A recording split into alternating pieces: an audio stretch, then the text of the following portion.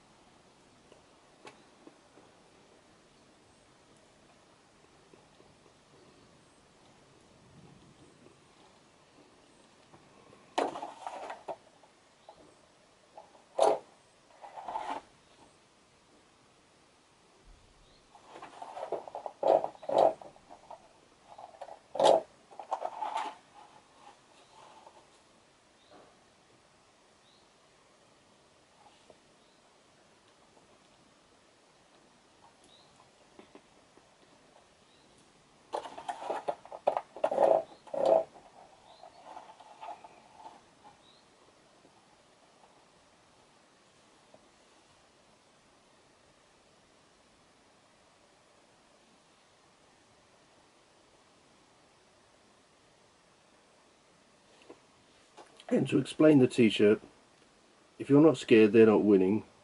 There's a lot of negativity, a lot of people trying to make you scared in the news these days. They're trying, they're not winning. If you're not scared, they're not winning.